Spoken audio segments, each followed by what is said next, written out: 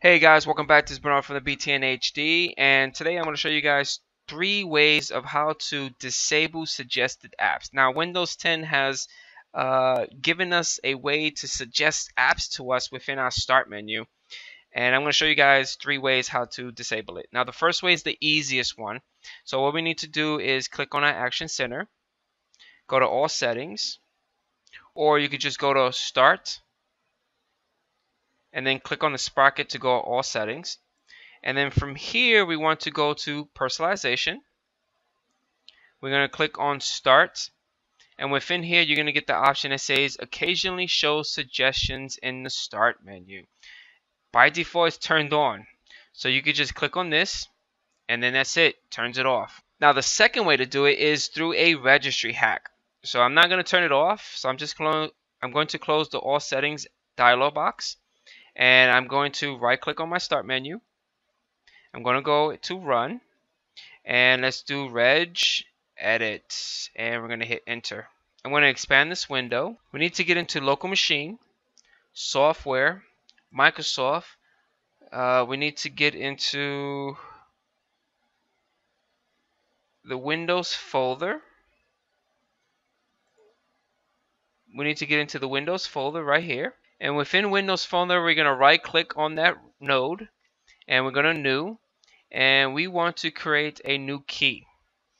Now the new key that we want to create is going to be called cloud content and hit enter. We want to right click on the new key, go to new and create a new DWORD 32-bit value.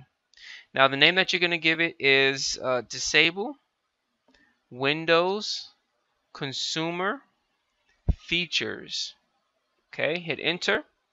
We're going to double click on that new DWORD and we're going to set it to 1 and press OK. Now the last way to do it is through group policies. So we're going to close this registry window.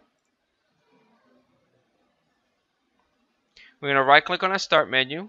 We're going to go to run. We want to do is gp edit .msc and hit enter. We're going to expand this window is expand the sidebar a little bit. We want to go into the computer configuration, the administrative templates folder, expand that. We want to expand Windows components, and we want to locate the cloud content folder. And we have two options. We have do not show Windows tips or turn off Microsoft consumer experiences. So this is the one that we want to enable. So let's double click on that and just click enable. And that's it guys. I just showed you guys three ways to disable suggested apps within Windows 10 Start menu. We either have the easy way which is the all settings section, the registry hack if you want to get all tricky and hacky, or you could do it more of a global thing and shoot out a group policy within your environment. Hopefully you guys enjoy the video. Leave comments right below. Don't forget about hitting that like button. I catch you guys on the next one. Peace out.